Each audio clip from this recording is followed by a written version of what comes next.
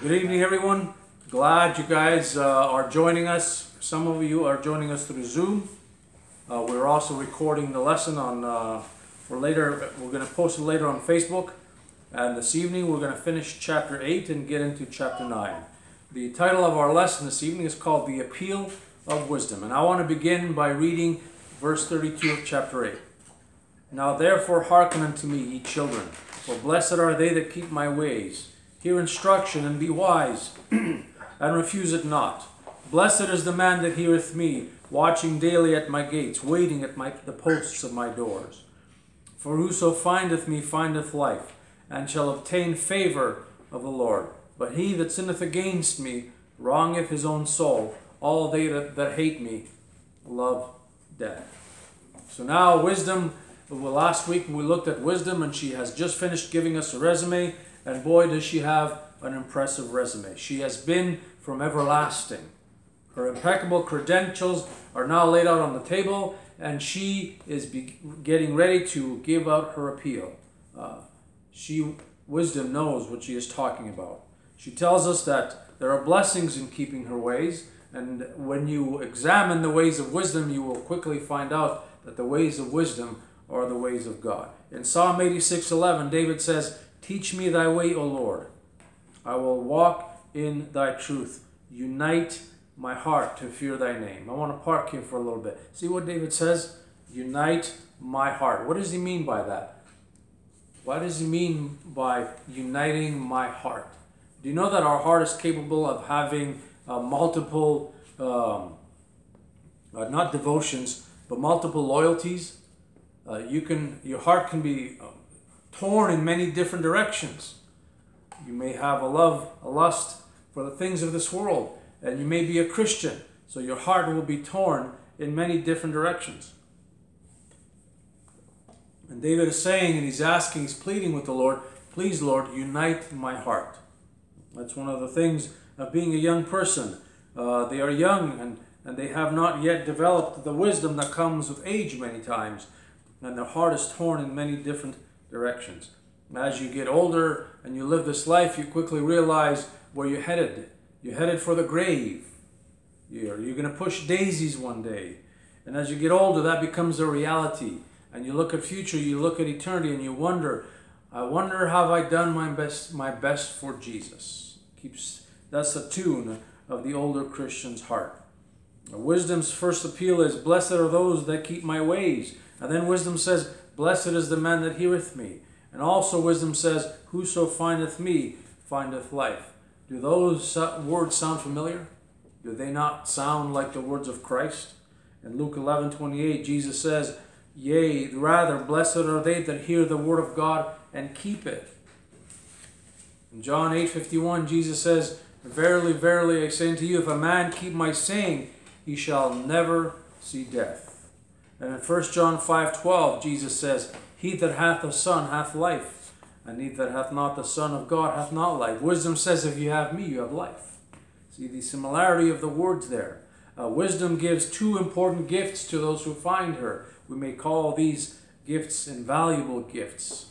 She gives life and favor from God. We have looked uh, numerous times that wisdom gives life to those who find her. And wisdom also says that those who find her obtain favor from the Lord. Wouldn't you want to obtain favor from the Lord? I know I do. In Psalms chapter 30, verse 5, David says, For his anger endureth but a moment, in his favor is life. Whose favor? In whose favor is life? Anyone know? It's in God's favor. You obtain the favor of God, you will receive life. And then David says, Weeping may endure for a night, but joy cometh in the morning. You see the connection between favor and life. Sometimes I, when I, when we study the book of Proverbs, we'll come away thinking that perhaps King Solomon read the book of Psalms before he wrote the book of Proverbs, because by the time that Solomon sits down to write these proverbs, David has already passed away.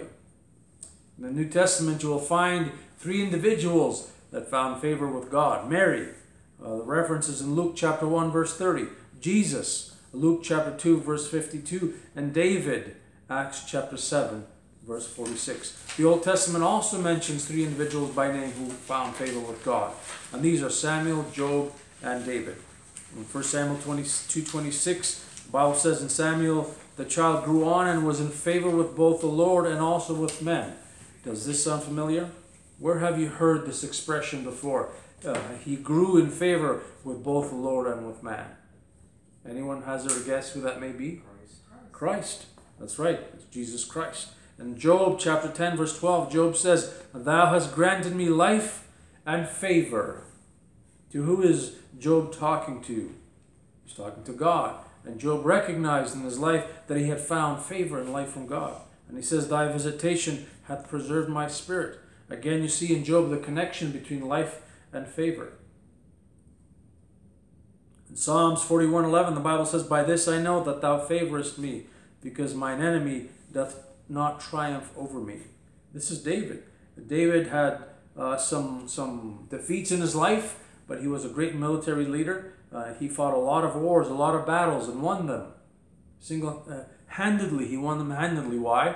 Because he had found favor from God. And anyone can find favor from God. Don't think that favor is limited to these individuals that we had just mentioned by name. You too can find favor from God if you find wisdom. I've said, I just said it moments earlier. I don't know about you, but I want to find favor from God. Would you not want? Would you not want to be on God's side? I want to be on God's side. There's uh, there's another thing. Uh, there's several others who find favor from the Lord. I've said this before, and I will repeat it again uh, when I was a young man uh, growing up, uh, praying that the Lord would lead me to my the future mate, to my spouse. And I'd be honest with you, I believed that the type of uh, wife God would give me would show me what He thought of me. Where do you get that from? From the Bible.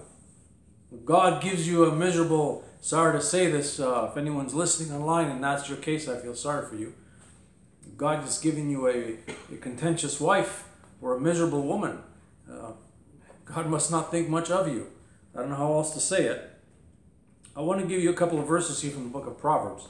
Proverbs chapter 18, verse 22 says, For whoso findeth a wife findeth a good thing, and obtaineth favor of the Lord. Well, you may say this means that anyone who is married, anyone who has a wife, has obtained favor from the Lord. But there's another verse we got to connect it with. In Proverbs chapter 19, verse 14, the Bible says, Houses and riches are the inheritance of fathers, and a what? A prudent wife is from the Lord. You see, uh, you can only receive a prudent wife from the Lord. Why? Because only God knows what's inside that woman's heart. When you marry a woman, she may look like a nice girl, she may act like a nice girl, she, everybody may think she is a nice girl, but only God knows what's inside her heart. So, how are you going to protect yourself from Jezebel coming out uh, two years into your marriage, or three years into your marriage, or five or ten years into your marriage? You don't know that. Only God knows the person's heart. And then wisdom says in verse 36 He that sinneth against me wrongeth his own soul. All they that hate me love death. You see that? He that sinneth against me wrongeth his own soul. There's only one person you can sin against, and it be and it affect your soul. Who who do you suspect that is? Who do you suppose is that one being, that one individual that you can sin against and it will damage your soul for, for eternity? That's God. That person is God. Ezekiel chapter 18, verse 4 and verse 20 say, The soul that sinneth, it shall die. And many people debate the meaning of this, but I understand Old Testament theology, and that means that because the soul was not revived as, it is in the uh, New Testament, if you died in your sin, you went straight to hell. If you died in your sin, you went straight to hell. John chapter 3, verse 19, the Bible says, And this is condemnation. The light has come into the world, and men love darkness rather than light because their deeds were evil. What did men love? Darkness. They hated life. They hated truth. They hated the light. They hated wisdom. The Bible says, if you hate the good, if you hate the light, if you hate righteousness, then you love death. Because why? The wages of sin is what? Death. When we think of death, we often think of physical death and the second death. But have you ever thought about spiritual death? Have you ever considered that it is possible for a Christian to hate Christ? Oh, how can you say such things? I'm a born again believer. I don't hate Christ. Well, uh, I, I beg to differ. If you do not live the life that Christ has died for you to live, then what are you really saying about your Savior who died for you? In John 10, Jesus says, I am come that they might have life. Not only that they might have life, but they might have it more abundantly. If you do not live in this abundant life that Christ died to have you, then what are you what are you doing? What kind of life are you living? If you are a born again Christian and living like the world, you are in essence denying the very Lord who saved you. John 14, 24, Jesus says, He that loveth me not, keepeth not my sayings. Can you say that about many Christians today? Do they keep the sayings of Christ? And the word which ye hear is not mine, but the Father's which sent me. Disobedience to Christ is basically a form of hatred. If you're not obeying Christ, then what are you doing? Uh, another form of hatred, I believe, is demonstrated by people's lack of concern for, for what's going on in our world, what's going on in Christianity today. One thing I cannot comprehend is people who, uh, who are in doctrinal error. Look at the modern versions of the things that they have done to our Bible. It grieves my heart to be honest with you. 1 Timothy 3:16 says, "Now without controversy great is the mystery of godliness. God was manifest in the flesh." And they changed it into he. Do you know that takes away from the deity of Christ? Let me ask you today, are you manifest in the flesh? You say, well, I have no idea what you're talking about. If I come and pinch you right now, or punch you, will you feel it? Of course you will. Then you are manifest in the flesh. You see how important that is? It's not, it's not a miracle for, a, for you to be manifest in the flesh. It is a miracle for God to be manifest in the flesh. Isaiah chapter 14, verse 12 How art thou fallen from heaven, O Lucifer, son of the morning? Been changed to morning star or day star. You know that this gets me so angry? Sometimes I have to hold back and just smile. Think about that. They took the name of your Lord who died for you and they ascribe it to Satan. Would that get you angry? Would that get you goad? That would mine. That, you have no idea how angry I get over this verse. Daniel chapter 325, he answered and said, Lo, I see four men loose, walking in the midst of the fire, and they have no hurt, and the form of the fourth is like the Son of God. Change to the Son of Gods, a Son of the Gods. Luke 2.33, and Joseph and his mother marveled at those things which were spoken of him. Change to the child's father. Who's Christ's father? It's not Joseph. Luke 2.43, in the end of the verse it says, Joseph and his mother changed to his parents. Do you love wisdom? Do you love Christ? Then what does wisdom tell you and teach you when they attack your Lord? How angry does that get you? An attack on the deity of Christ is too much for me. I cannot handle it, to be honest with you. I can't handle it. It gets me really angry because of the Lord who, who I love, the Lord who loved me so much. Why would I want to besmirch his name and his character and his deity? Why would I want to do that? well, you say uh, all Bible versions teach the deity of Christ. Yes, you are correct. They all have verses in there that teach the deity of Christ. But let me ask you this why attack it at all? Would you drink a glass of water that has uh, poison in it? Well, it only has one drop of poison. Go ahead, drink it. Go ahead. It's only one drop of poison. 99.9% water or 99.9% water. Would you do it? Would you do it? Let me ask you this. Would you do it? No, because because you have more common sense. Do you? I'm going to get off on this because I'm going to keep going and I'm to get really upset and I will lose my Christian character. No, I'm just kidding. I'm just kidding. You know, you know that that's what happens when you love wisdom. When you love wisdom, you love Christ. And when you love wisdom, you love truth. And when something is not truth, it, it, it inside you, it boils, it angers you. Oh, Christians are not supposed to get angry. Righteous indignation. God got, got angry. You're not supposed to get angry without a reason. If you have a cause to be angry, then you can be angry according to the scriptures. I'm angry when I see these people uh, step on the blood of my Lord. I'm angry when they besmirch his name. I'm angry when, when they hate God and they commit all these immoral acts. That should get you angry. John 7:35 says, "Wisdom is justified of all her children." Uh, wisdom knows those who are her children. Do you have wisdom? Do you hate wisdom? Sorry, I just need to look at my notes here for a minute here. then if you hate wisdom, you know what you will do to yourself? You will bring about spiritual death. You will be spiritually dead. You, have, you will have no spiritual power to even move a flea. There are many facets to the Christian life. You have a relationship to your spouse, you have a relationship to your children and parents, your relationship to God, your relationship to money, your relationship with the people of God, your relationship with the Word of God. All these are dictated with the amount of wisdom and understanding you have. Well, what do you mean? Yeah, I want to give you a few examples this evening. A Christian who does not tithe lacks understanding. Well, you say uh, tithing is not found in the New Testament. It's a principle. It's not. A, it's not tied to the Mosaic Law. Tithing was a principle established before the Mosaic Law. Uh, Abraham tithed. Yet we are we are quick to point out that our faith is after the faith of Abraham. Uh, Jacob tithed, and they tithed before the law. Uh, Christians who listen to worldly music and I emphasize the word worldly because there is some uh, non-Christian music that I believe is not worldly.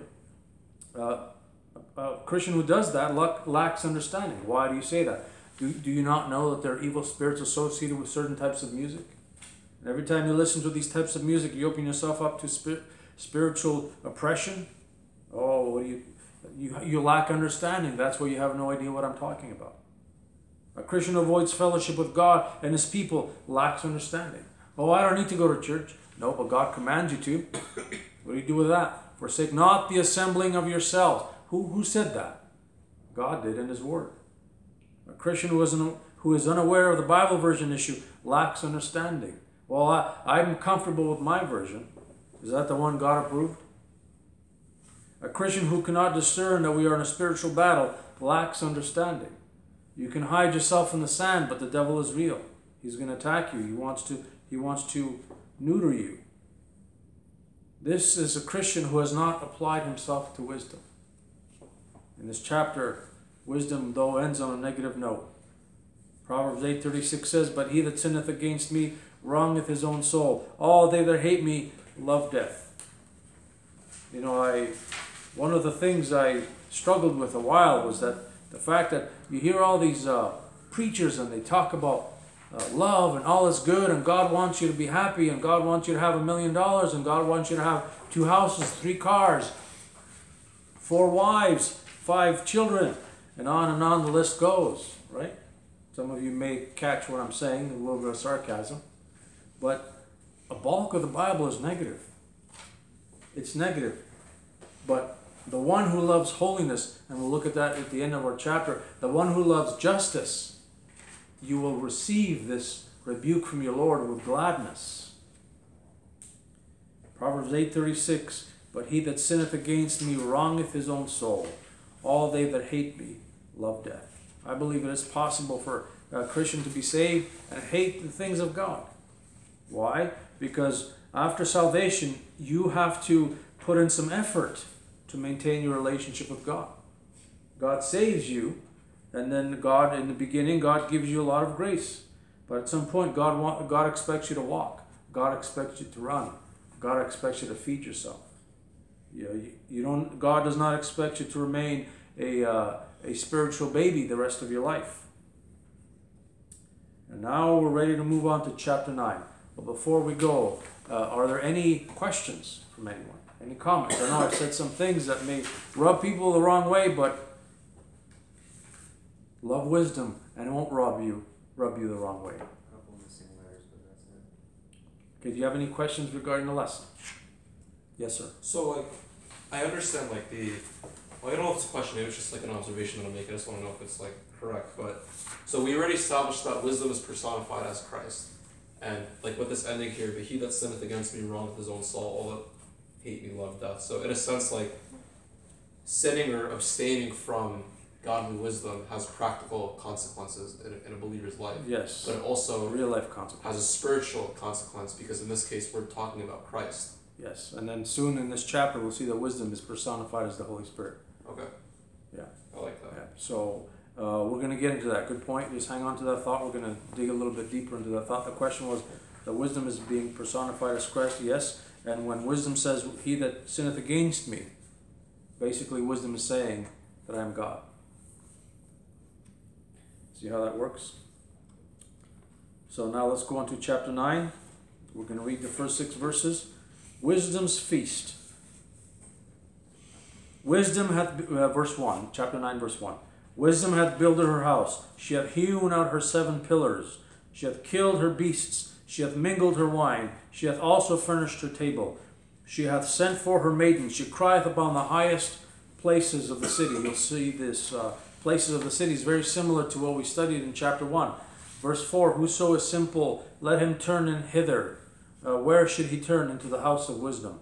As for him that wanteth understanding, she saith to him, Come, eat of my bread, and drink of the wine which I have mingled. Forsake the foolish and live, and go in the way of understanding. We now come to a place where wisdom has finished her appeal.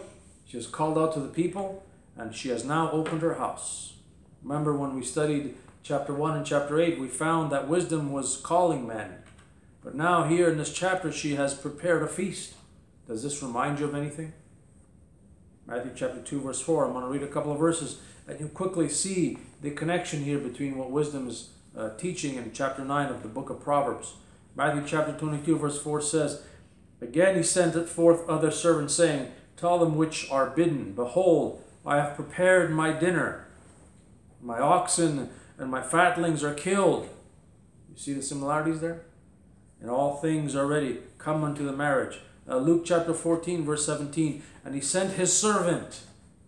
Oh, who did, who did wisdom send? Here he sends a servant. Who does wisdom send out? Her maidens. That's right, her maidens. And he sent his servant at supper time to say to them that were bidden, Come, for all things are now ready. You see the do you see the similarity in this image here? Revelation chapter 9, verse 19. Sorry, chapter 19, verse 9.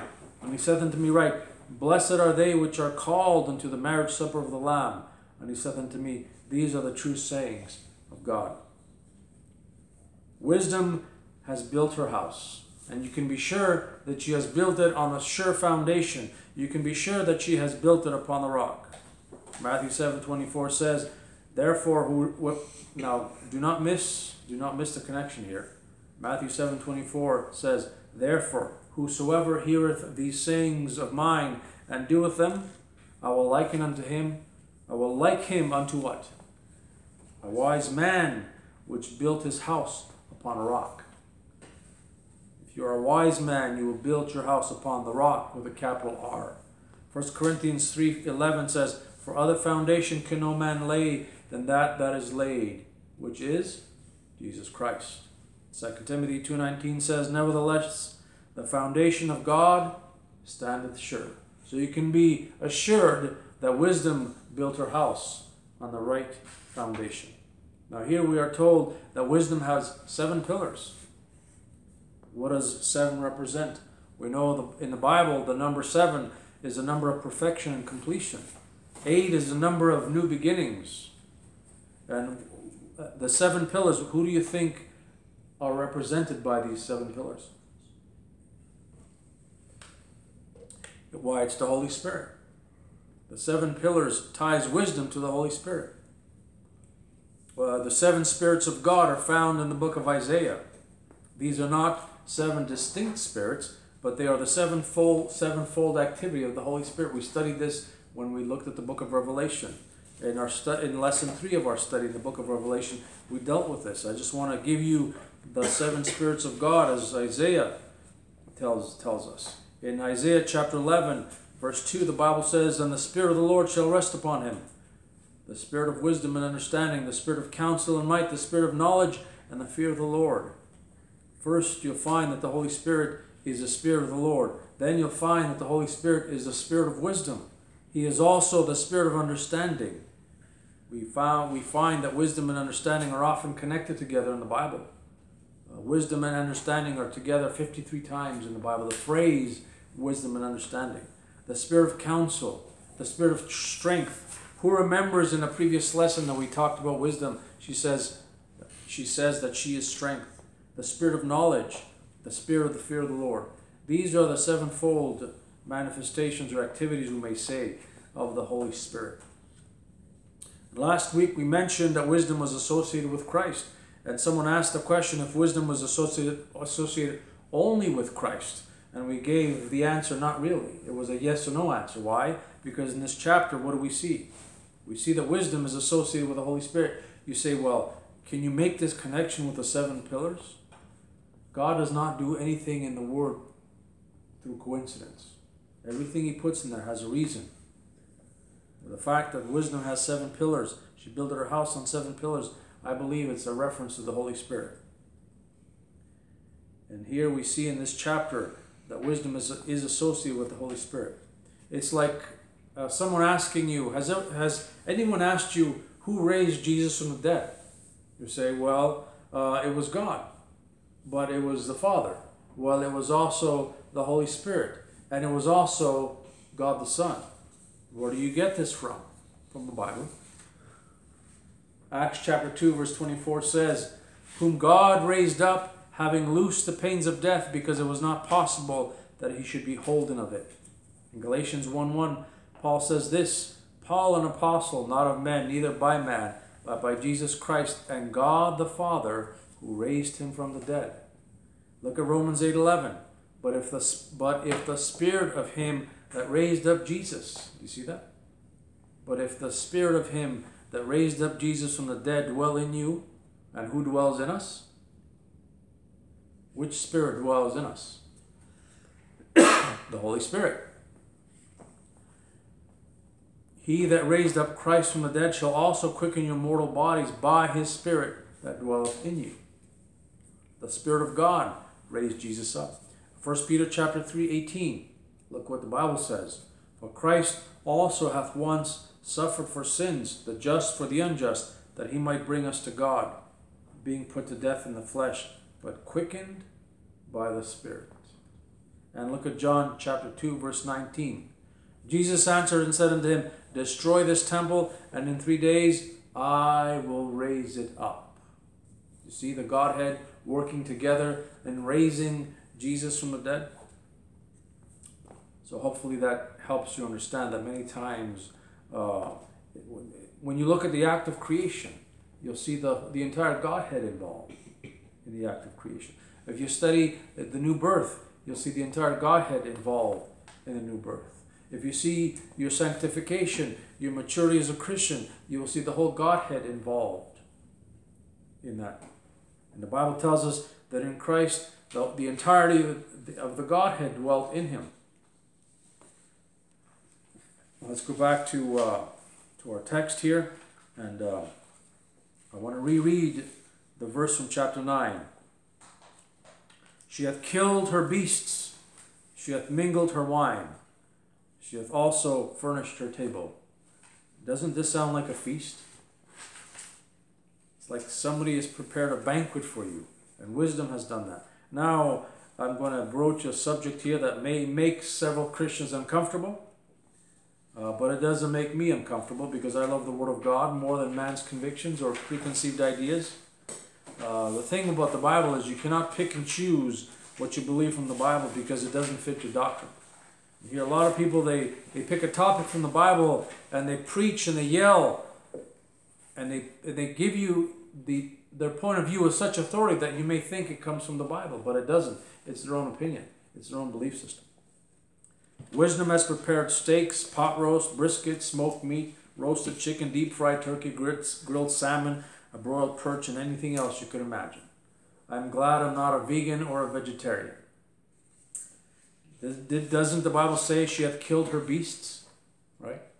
Uh, people said, Oh, I don't eat pork. Oh, I don't eat shellfish. Uh, in the Levitical law, it's forbidden. Uh, why do you think God told Peter to get up, kill, and eat? What was Peter's response when the Holy Spirit told him, Get up, kill, and eat? Said it's unclean. That's right. Lord, I haven't eaten anything unclean from my youth up.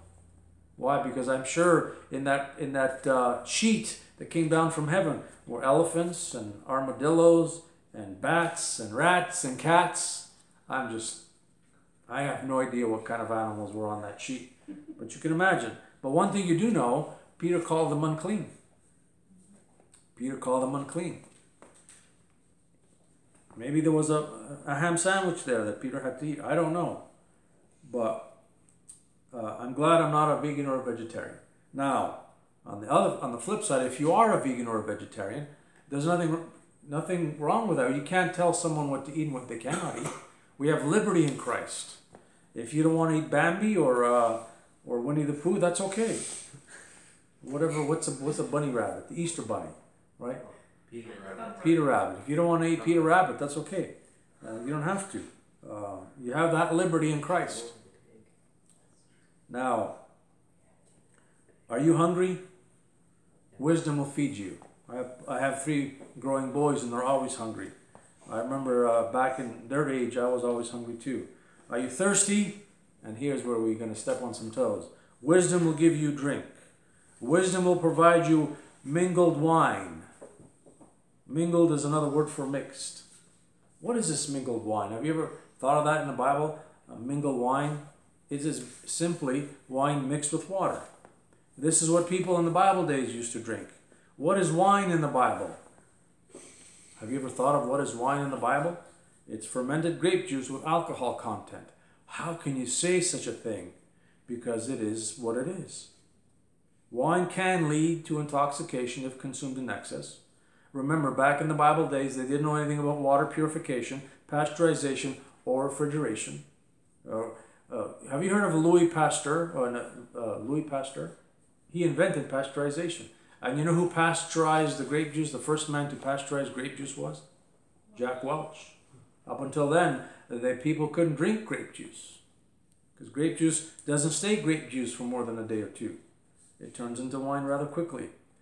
What are you talking? How could heresy? Heresy. I'm just telling you what the Bible says. Alcohol is a water purifier. We'll get, we'll get to you quick. Let me read the uh, clean water was not always available for those people in those days.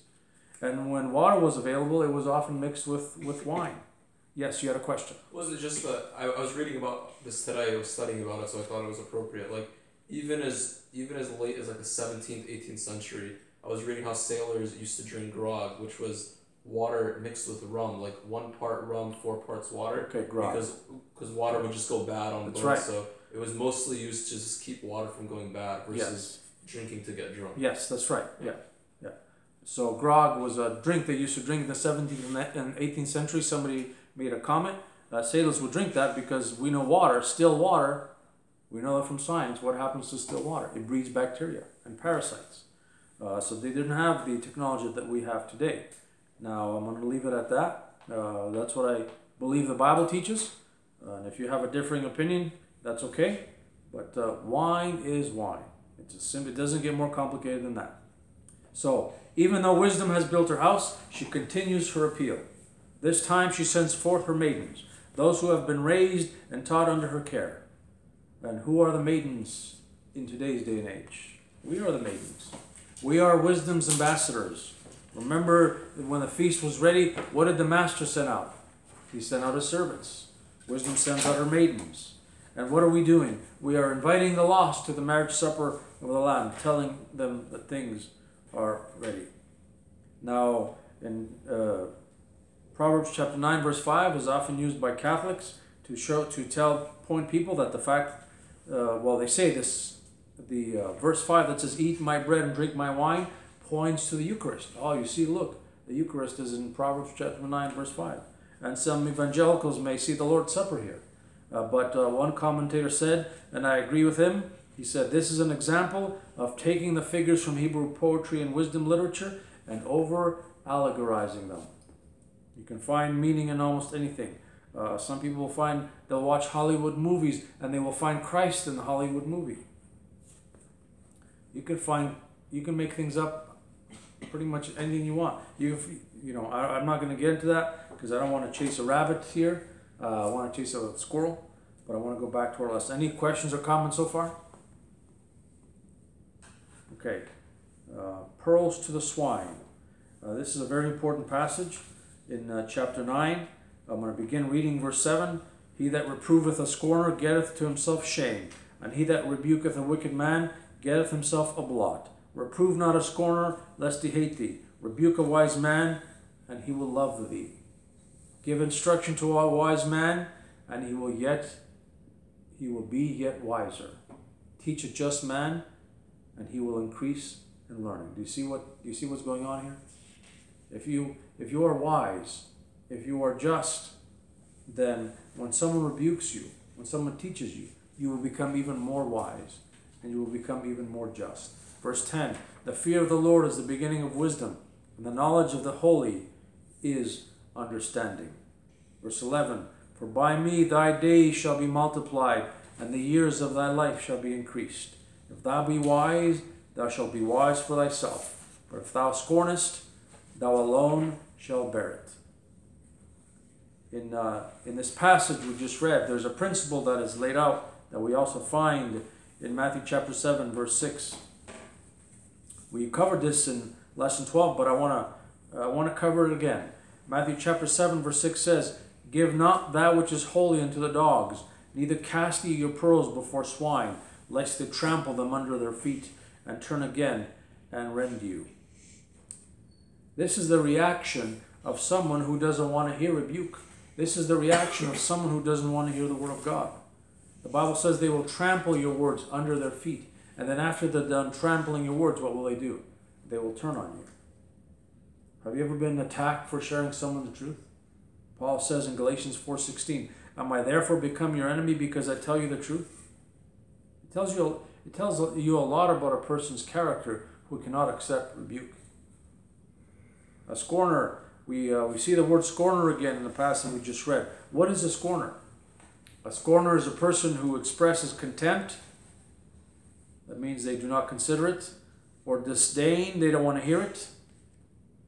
So when you try to rebuke a scorner, when you try to correct a scorner, they do not accept it. One of the things when my, as my children were growing up, one of the things we tried to do is, is help them accept their punishment. You did wrong, you're getting disciplined. And you need to accept your discipline. Don't fight your discipline because it'll be worse. And we taught them this from, from young children. You have to accept the rebuke, you have to welcome it. A scorner is someone who expresses this kind of attitude uh, during their speech. And scorners often think they know everything. You can't, you can't tell them anything. It's like, uh, you know, you're talking to a scorner where you're explaining something to them, and they say, I know, I know. They keep interrupting you, and they say, I know, I know, I know, I know, I know. That's a scorner at heart, because they know everything. They cannot be taught. A wicked man is an evil man. It's a man who is disposed to immorality, a sinner. Both these types of people, the scorner and the wicked, hate to be corrected. Have you heard this expression? You can't tell me what to do. Have you heard that? Uh, teenagers often say that. You can't tell me what to do. But the Bible says that when you try to correct these types of people, you're basically wasting your time. Now, when you have children, you have to waste your time because it is your responsibility to teach them. They may grow up and not listen to you, but the Bible, the Bible promises us, parents, train up a child that he, in the way that he should go, and when he is old, he shall not depart from it. But you, you have to do it wisely. Uh, the Bible talks about the nation of Israel being stiff necked, uh, they are scorners. Second Chronicles records this tragic, uh, tragic outcome of the children of Israel. In Second Chronicles chapter 36, verse 16, the Bible says, But they mocked the messengers of God and despised his words and misused his prophets until the wrath of the Lord arose against his people till there was no remedy. To me, this is a, one of the saddest tales of the history of Israel. And today, what do you see outside in this world? Same thing. They mock the messengers of God. Try to talk to someone about Christ today. You will be ridiculed. One of Christ's biggest complaint toward the Pharisees was they were the children of those who killed the prophets. Look what he tells them in Matthew chapter 23, verse 34. Wherefore, behold, I send unto you prophets and wise men and scribes, and some of them ye shall kill and crucify, and some of them ye shall scourge in your synagogues and persecute them from city to city. What a sad testimony. Matthew 23 37, Jesus says to the city of Jerusalem, O Jerusalem, Jerusalem, thou that killest the prophets, and stonest them which are sent unto thee, how often would I have gathered thy children together, even as a hen gathered her chicks under her wings, and you would not. You know what this tells me? This tells me that God really, really wanted the children of Israel to receive Christ as their Messiah. You know what God really wants today? He really, really wants lost people to get saved. But they won't. It's not no it's not any fault of God. It's not because God has predestined them to hell. It's because they refuse. They refuse. They refuse. Romans 11:3 says, "Lord, they have killed thy prophets and dig down thine altars, and I am left alone, and they seek my life." And then Christ tells us that they killed the householder's son, they killed the heir. And who was the heir that they killed? Anyone? It was Jesus Christ. Acts chapter 7, 52 says, Which of the prophets have your fathers have not your fathers persecuted? And they have slain them which showed before of the coming of the just one, of whom ye have been now the betrayers and murderers. And this is Stephen's preaching. And how how did they react towards Stephen's preaching? They received it with open arms, right? They stoned him.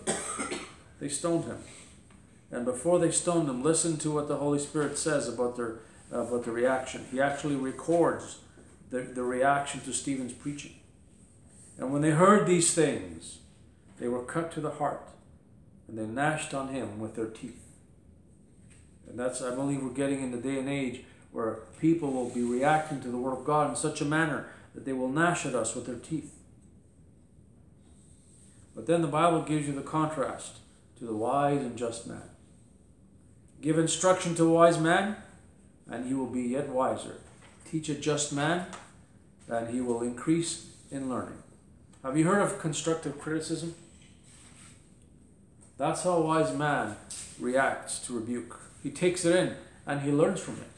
I, I appreciate constructive criticism. If you want to criticize me, I will take it. I will listen to you.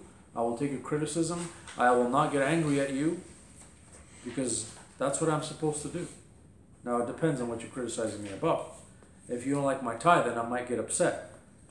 But that's a whole different uh, subject altogether. Uh, remember David? When Nathan the prophet rebuked him, what did David say? I have sinned against the Lord. Remember Peter? When Christ rebuked him, he wept bitterly. Simon the sorcerer, remember him? When Peter rebuked Simon the sorcerer, oh, he's, he repented immediately and says, Pray that these things do not fall upon me. He was rebuked by Peter because he thought he wanted to make money through the Holy Spirit. He wanted to pay, and he was a believer. Simon the sorcerer, according to the New Testament, believed in Jesus Christ, but he thought to he wanted to make money, and he, he gave he wanted to pay Peter and John so, so that they may give him power, so that he may give people the Holy Spirit. But Peter rebuked him, and he received a rebuke. How about you? Do you handle how do you handle rebuke? Do you get mad at the person who is who is rebuking you? Can you accept criticism? Now, I'm not saying that uh, you should be browbeaten. I'm not saying people should yell at you like a drill sergeant, because I believe criticism, rebuke, and reproof should all be done correctly. Even a secular world understands this. Uh, someone here put together a, a table. Uh, I don't know if you guys can, can see it. I don't know if you can see it on the thing. Is that showing on the screen there? For those who are watching online, constructive versus destructive criticism. I find this is neat. Uh, constructive criticism uh, should educate. It's related to the work at hand. Uh, it helps builds ideas. It makes the outcome better. It makes the person better. It's intelligent. There's reason behind your criticism. And its main objective is to help. But what does destructive criticism do? It embarrasses. You should never embarrass your children or anyone in front of anyone else. Even the Bible says, you want to rebuke an elder? Rebuke him in, in, in secret. Criticism should not feel like a personal attack. You should not be torn down when you're being uh, rebuked or reproved. we're given reproof. And uh, many people, when they try to reprove you or rebuke you, they try to control you. That's not godly. That's not scriptural. When you rebuke someone, when you reprove someone, you have to do it with love. And if you don't love them, don't rebuke them. Don't reprove them. Because it'll be done in the wrong spirit. We are quick to point out those who, who can't take our criticism or rebuke. But how do you dish it out? How do you reprove someone? How do you rebuke someone? What is the spirit behind your nurture and admonition? And that's very hard for parents to do when they have children. Uh, the children need to know that you love them. Yeah, you're going to get angry at them. You're going to raise your voice at them. You'll get upset at them. But in the end, they need to know that you love them. They need to know that you have their best interests in mind. I tell my children, uh, I want you to become productive members of society and I'm teaching them, oh, you're, you're, you're polluting your children's minds. I'm teaching them that life is not fair. If you live, if you've worked or lived in the real world, you'll quickly find out life is not fair. But you have to be able to take it and keep going on. You can't let the reality of life destroy you. And I want to mention briefly the fear of the Lord. Uh, we, we looked at this in great length in lesson two of our study. So uh, it's mentioned here in our in our passage we just read in chapter nine. The fear of the Lord is the beginning of wisdom, and the knowledge of the holy is understanding, is what we are told in this verse. The fear of the Lord occurs 14 times in the book of Proverbs. I want to I want to encourage you as we're coming to an end. Unless you first fear the Lord, you will not be on the road to wisdom. Unless you desire holiness, you will not receive understanding.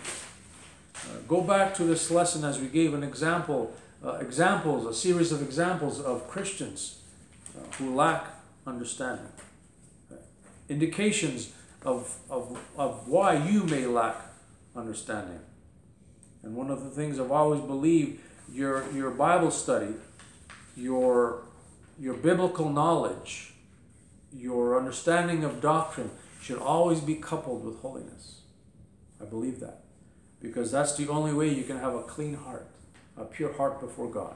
As you seek the truth, God will look at your heart. I was uh, talking to a friend uh, earlier today, and I was telling him, you know what, you know what the we see we, we were talking about conspiracy theories about this coronavirus, and I I'm a I have a bent towards that and, and wanting to know about conspiracy theories. But I told him, you know what my biggest problem is? my own heart.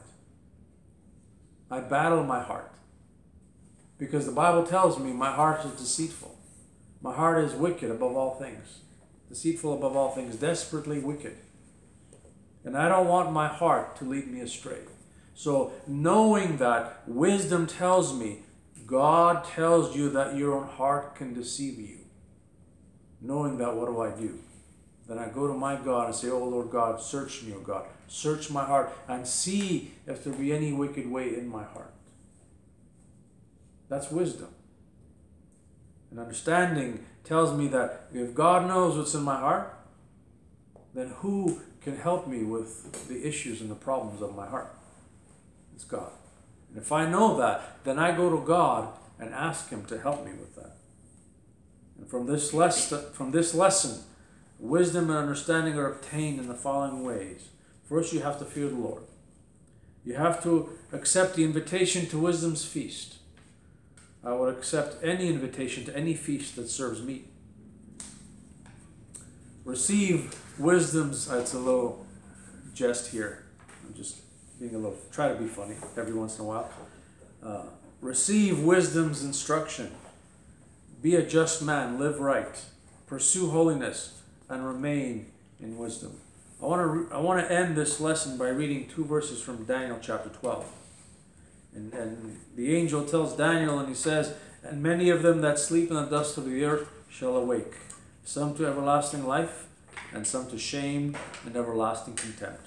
And they that be wise shall shine as the brightness of the firmament, and they that turn many to righteousness as the stars forever and ever. So remain wise, remain in wisdom, remain in the Word of God, and God will make sure that you end up okay. Next week, we will uh, try to finish chapter 9 and uh, hope you stay uh, safe, stay coronavirus free, and we'll see, see you here, same time, same place next week.